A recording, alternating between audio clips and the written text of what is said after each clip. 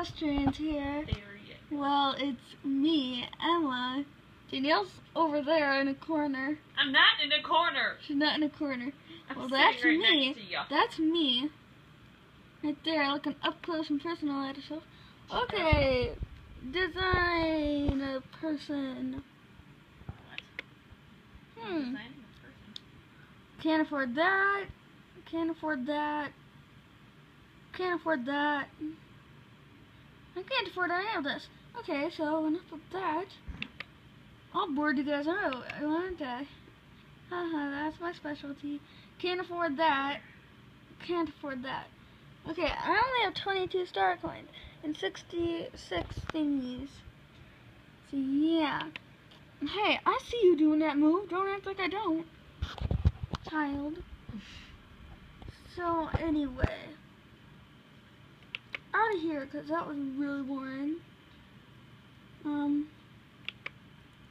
Let's go out into the wild. We're not actually gonna go out into the wild today.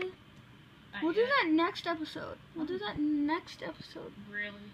I will show you guys where a bear cave is. Oh my god. Or Danielle will. Oh my So. god. Bum. ooh, I do like this. And I wouldn't wear it. Turn the light. Okay, these are these are all junky boots. So yeah, no. Okay, ignore Danielle over there. I like talking to myself. Don't So- ask questions. Hmm, what should we do? Um, I can show you guys my horses. Danielle's telling me to poop in a bucket because you know she's just weird that way. I'm very weird. Okay, guys, so into the weirdest stable ever. Yeah, I was gonna say this is the second barn tour for her. Yeah. She's weird like that. This So, could my hair. Little Miss Moon Promise, Little Miss Frost Princess, Poop in a bucket. Little Mister oh, Autumn Trouble, Little Mister Lionheart, Little Mister Thundernight that I'm riding.